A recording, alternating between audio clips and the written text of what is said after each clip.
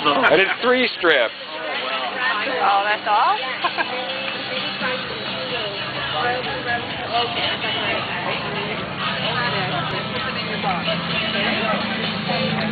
How's it feel? Oh, I just keep telling myself it's for charity. It's for charity. So what's coming up next, Chris? Uh, well, let's see. We've got the sugaring and the waxing today.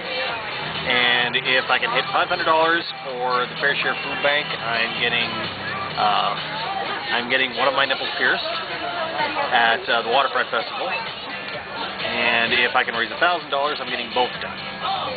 Uh, and if I don't raise the goal, if I don't hit the goals, I'm not doing it. I don't blame you a bit. Well, mainly because uh, you know if I get if I get one of my nipples pierced, I can't give blood for six months. Oh, there you go. So there's humanitarian reason to that, not just pain motivation. Exactly. Gotcha. Exactly. Well, congratulations on this one, Chris. Thank you.